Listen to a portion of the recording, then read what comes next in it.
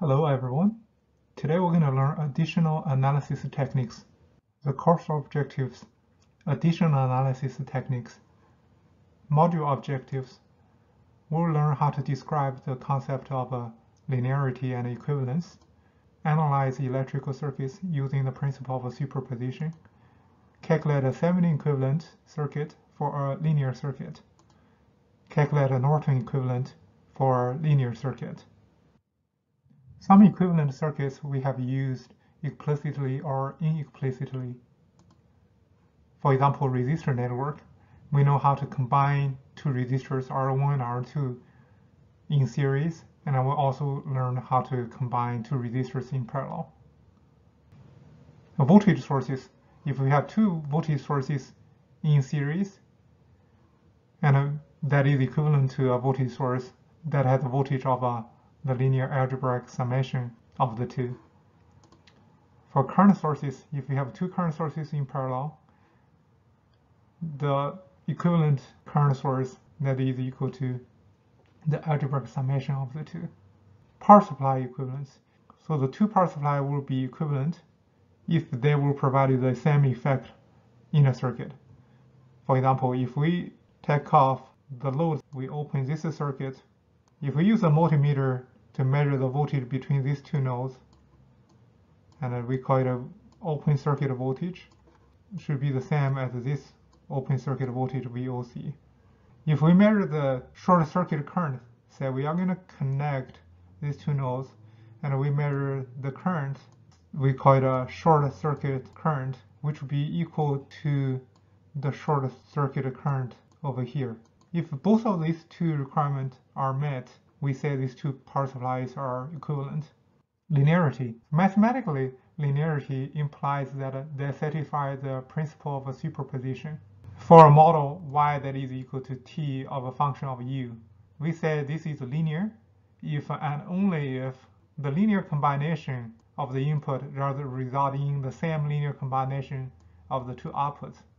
Here, if we supply the system with the input U1, and the output will be TU1. Similarly, if, if we provide an input U2, it will result in the output of a T as a function of U2. Here, the input becomes a linear combination of U1 and U2, alpha 1 times U1 plus alpha 2 times U2. So it will result in the same linear combination, alpha 1 times TU1 plus alpha 2 times TU2. And this should be valid for all possible input pairs u1 and u2 and all possible scalars alpha 1 and alpha 2. Superposition principle can be split into two requirements. The first requirement is called additivity. So it says the summation of two input will result in the summation of the two outputs. And the second part is uh, called homogeneity. The homogeneity says the scaled input should result in the same scaled output. Here t that is a function of u. You might be wondering what are the linear circuits? Circuits without nonlinear elements will be called as linear circuits. In this topic, we will use linearity assumption to develop special analysis techniques. Solve problems using homogeneity. So here we have one example. To find V out over here, from the chapter 2, we learned how to solve V out by using resistor network simplification. In chapter 3, we learned how to use a nodal and a loop analysis to find a V out. And homogeneity, since the circuit is linear, we know that given the power supply Vs, it will result in output V out. Given another power supply Vs prime, assume that it's a k times of Vs, you should see the same scaled output. V out prime should be equal to k times V output. And over here, if we assume that V prime output is equal to 1 volt, we can calculate Vs prime.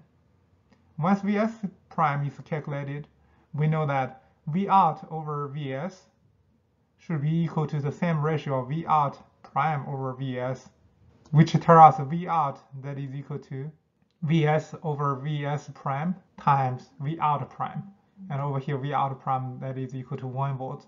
That is something we assumed here over here. It tells us that to use homogeneity to perform circuit analysis, the first step is to give V naught an arbitrary value, say 1 volt, The second step is to computing the resulting source value, and let's call it a Vs prime.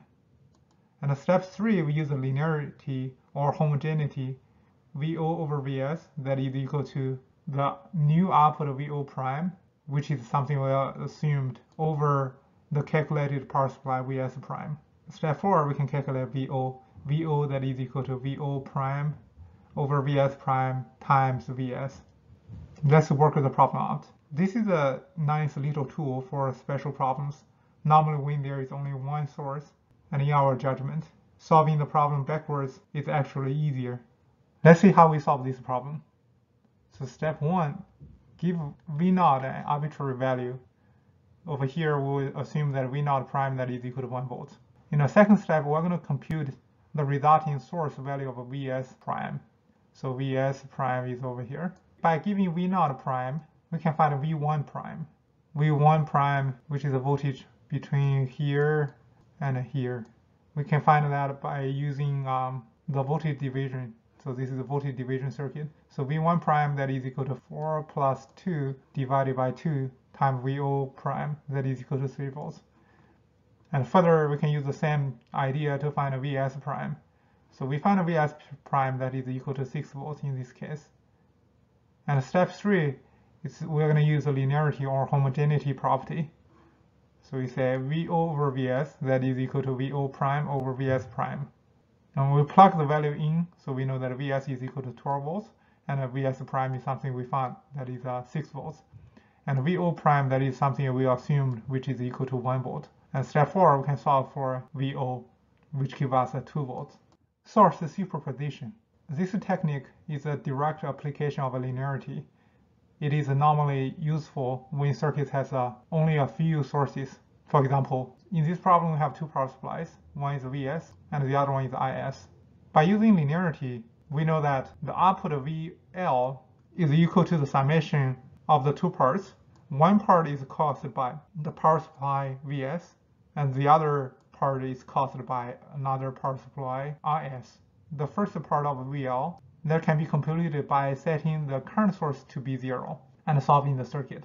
And similarly for the second part of VL, because it's resulted from the current source, we will assume the power supply to be zero. Let's look at one example to find current I1. Current I1 is over here. And in this problem, we have two power supplies, V1 and V2. We know that I1 is resulted from two power supplies, V1 and V2, we can use source superposition by decompose one circuit to be two parts. And one part is uh, driven by the voltage source V1 and the other part is driven by voltage source V2. In the first circuit, we will let the second power supply V2 to be zero.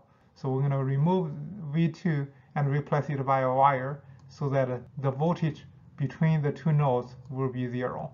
Similarly, for the second circuit, to let V1 to be zero, we need to replace V1 by a wire so that the voltage between these two nodes will be zero.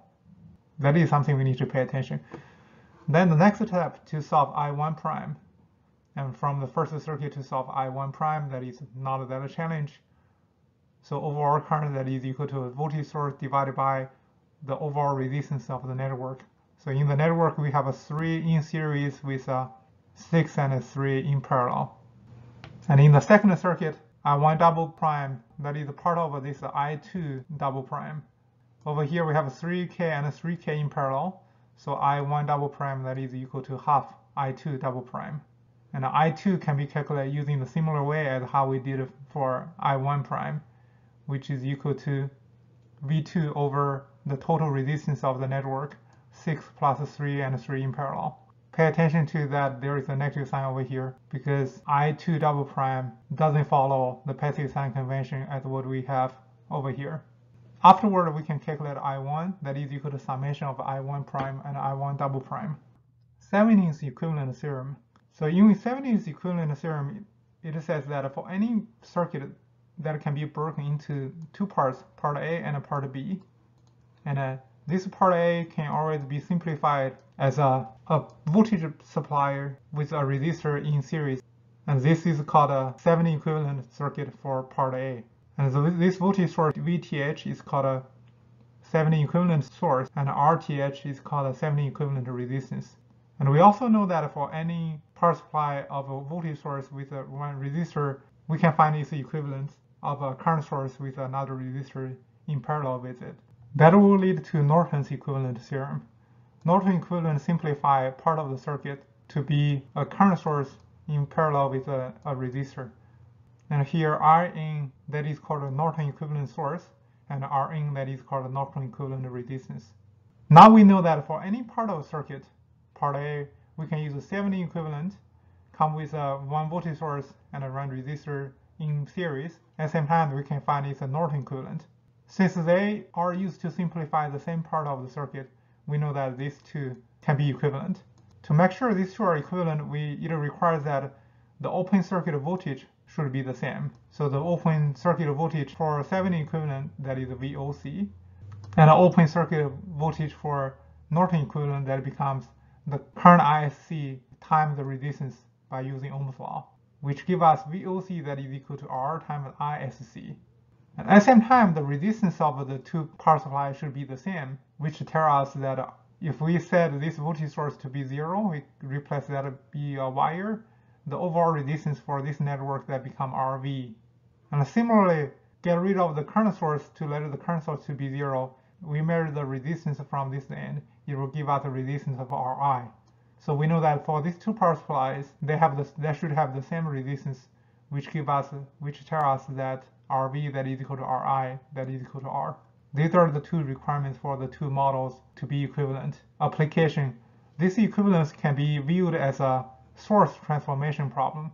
It shows how to convert a voltage source in series with the resistor into an equivalent current source in parallel with the resistor.